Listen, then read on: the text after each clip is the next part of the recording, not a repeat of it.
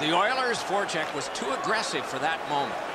Parked in the slot, and it's on his stick. Score! The hat trick! It's not really loud in here, but they don't expect that.